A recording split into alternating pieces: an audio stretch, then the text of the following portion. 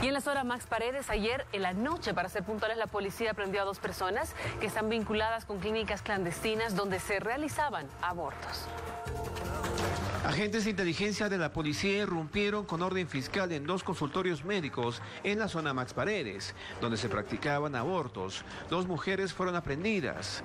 Es así que ahora hemos logrado intervenir un centro en el cual no había un respaldo idóneo, vale decir, documentación de respaldo y de funcionamiento inicialmente. En el operativo detectaron instrumental quirúrgico y sustancias relacionadas con esa actividad.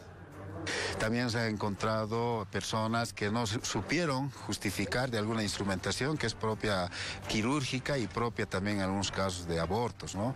Entonces, por lo cual, ante la flagrancia hemos procedido a la intervención del lugar y también a la intervención de las personas y a, conocimiento del Ministerio Público.